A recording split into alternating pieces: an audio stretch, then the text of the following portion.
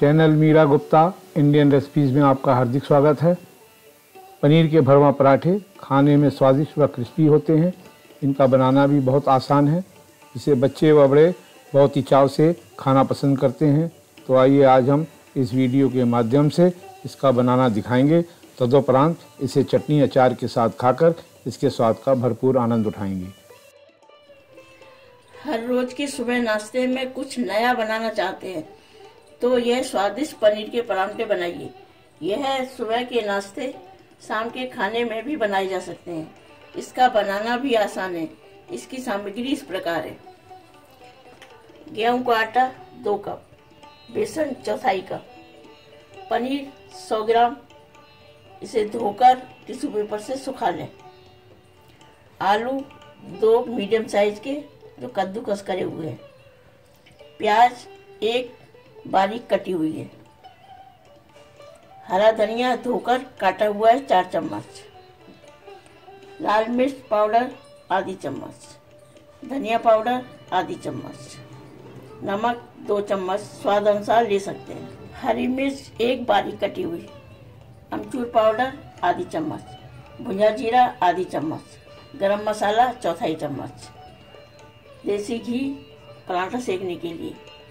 इसकी जगह रिफाइंड तेल भी ले सकते हैं। अब हम आटे को गूंथेंगे। आटे में बेसन डालेंगे। अगर बेसन नहीं डालना हो तो ना भी डालें। इसका स्वाद अच्छा हो जाता है। एक चम्मच नमक डालेंगे, एक चम्मच घी डालेंगे। इसे अच्छी तरह से मिक्स कर लेंगे। मिक्स करके इसमें गुनगुने पानी से गूंथेंगे।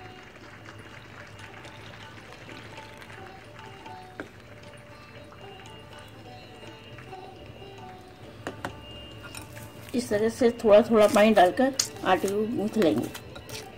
इस तरह से सॉफ्ट आटा गूंथ लेंगे। इस तरह से घी का हाथ लगाकर इसे पंद्रह मिनट के लिए ढककर रख देंगे।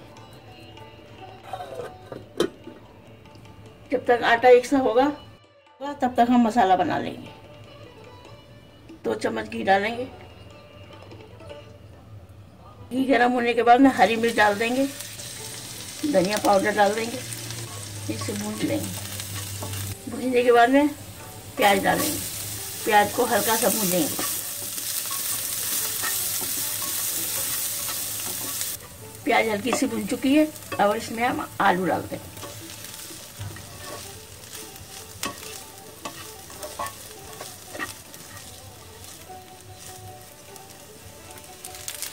मिर्च पाउडर डालेंगे। अमचूर डाल देंगे। जीरा पाउडर डालेंगे। स्वाद के अनुसार नमक डालेंगे। इसको मिक्स कर देंगे जब तक मसाला भुज रहा है, जब तक हम पनीर को कद्दूकस कर लेंगे।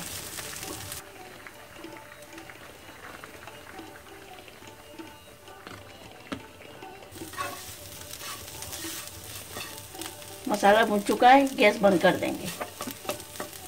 गैस बंद करके गरम मसाला डाल देंगे। पनीर डाल देंगे। हरा धनिया डाल देंगे।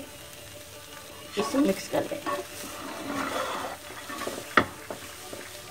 पनीर और हरा धनिया हमने मिक्स कर दिया है। अब इसको ठंडा होने के बाद में हम पराठे बनाएँगे। और आटे को एक सा करेंगे। घी का हाथ लगाएँगे। इसे गूंथ लेंगे।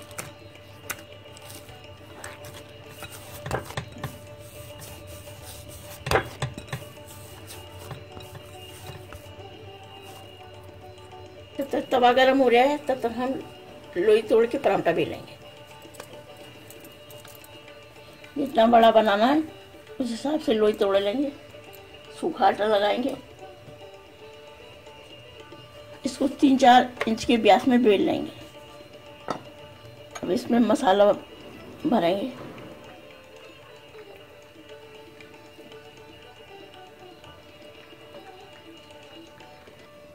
मसाला ज़्यादा ही अच्छा लगता है।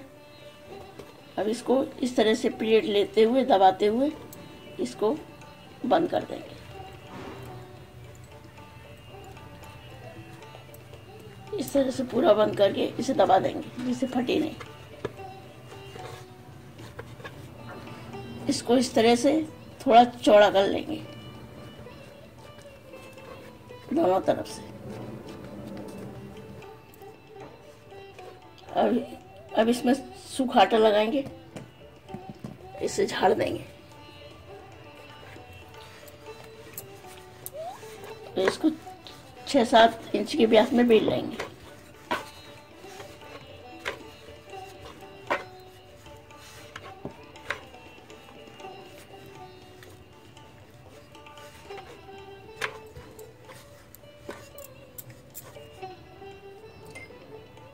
तवे पर थोड़ा घी लगाएँगे।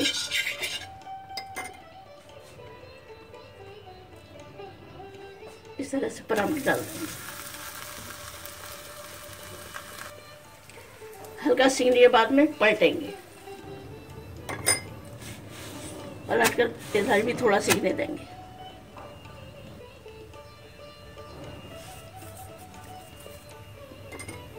इधर सीख जाए, फिर इसे घी लगा देंगे। इसे पलट देंगे।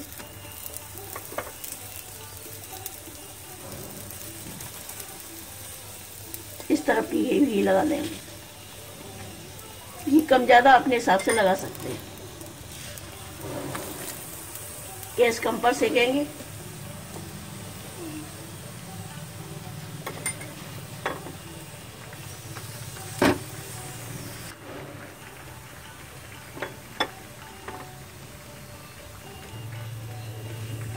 पराठा सीख चुका है, और इसे कटोरी के ऊपर रख लेंगे।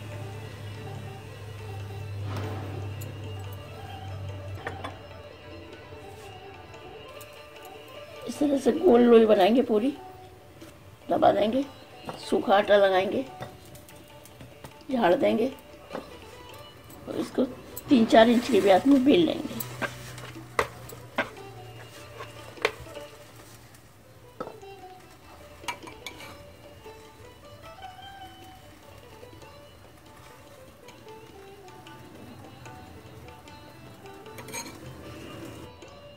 इस तरह से मसाला रखकर इसे दबा के इस तरह से प्लेट लगाते हुए इसे बंद करेंगे।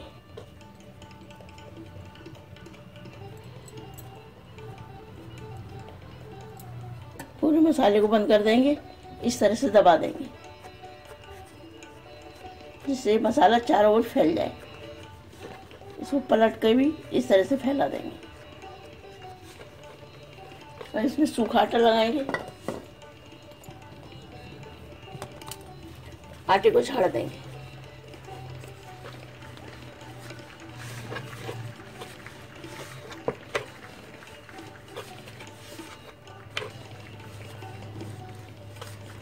ये पराठे थोड़े मोटे रखे जाते हैं।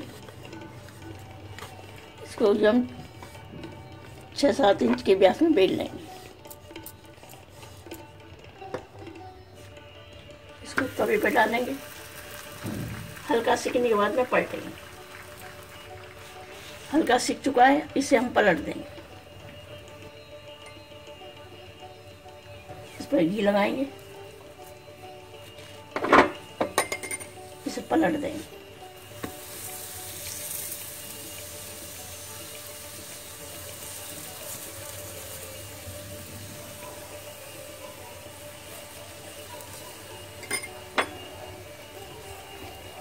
गैस को मीडियम रखेंगे। जिससे पराठा अच्छा सेके इसी तरह से सारे पराठे सेक लें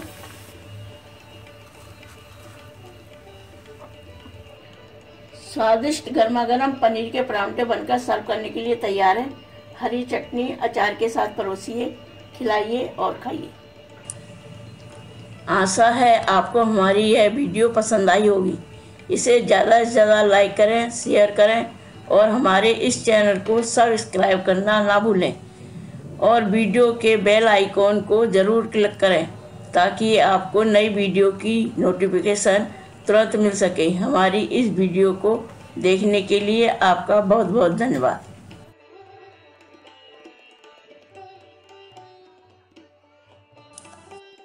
इस एंड स्क्रीन में हमारे चैनल के तमाम वीडियोस की प्लेलिस्ट दिखाई गई है। इन वीडियोस को देखकर रेसिपीज़ बनाने का लाभ उठाएँ और अपना अनुभव हमारे चैनल के साथ शेयर करें।